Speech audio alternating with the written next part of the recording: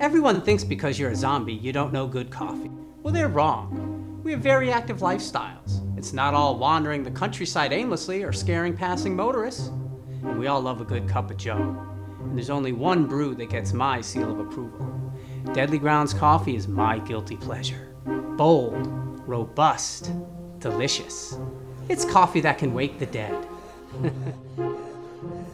With over a dozen different roasts and flavors, Deadly Grounds can satisfy the most finicky of coffee addicts. The aroma is so intoxicating. It brings all of my neighbors out of the woodwork. Deadly Grounds coffee. Coffee to die for and zombie approved. It's good to get a little deadly.